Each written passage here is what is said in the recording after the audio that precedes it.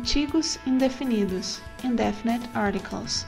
Na língua inglesa, os artigos indefinidos, indefinite articles, são o a e o an, e eles acompanham o substantivo no qual ainda não se tem conhecimento.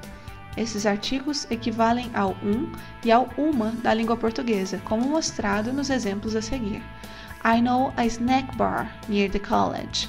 Eu conheço uma lanchonete perto da faculdade. You need to make a collect call.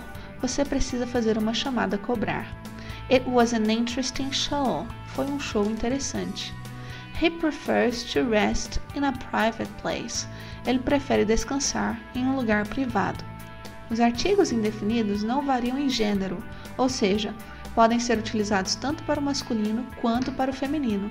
Exemplos: He is a shy guy. Ele é um homem tímido.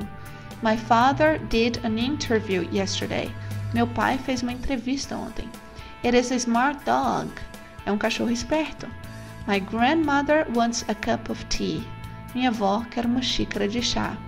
O artigo indefinido a será utilizado antes de palavras que iniciem com o som de consoante, ou seja, antes de consoantes, antes do H, sonoro audível, e antes do semivogal Y.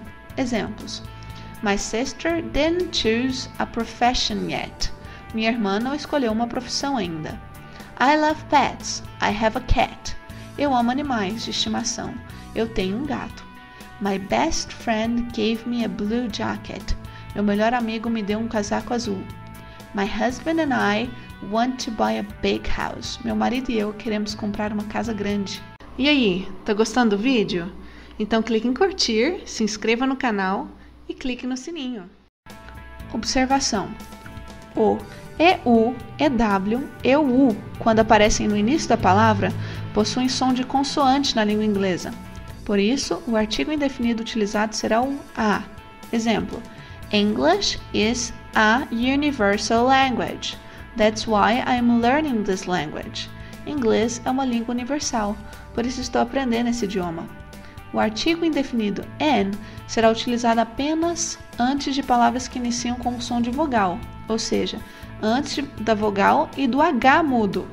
Ressalta-se que na língua inglesa existem apenas quatro palavras que iniciam com H mudo. São elas hour, hora, honest, honesto, honor, honra e heir, herdeiro. I want an apple for breakfast. Eu quero uma maçã de café da manhã. My teacher needs an artist to party. Minha professora precisa de um artista para a festa. Her boyfriend is an idiot. O namorado dela é um idiota. My father is an honest man. Meu pai é um homem honesto.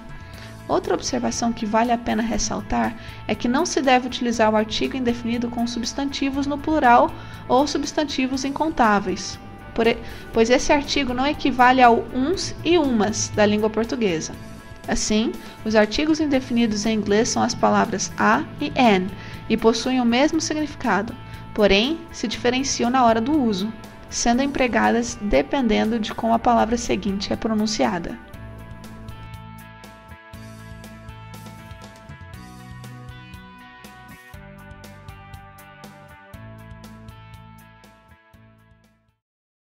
Adquira essa apostila com mais de 300 páginas abordando toda a gramática inglesa e mais exercícios por apenas R$ 19,90. Link na descrição do vídeo.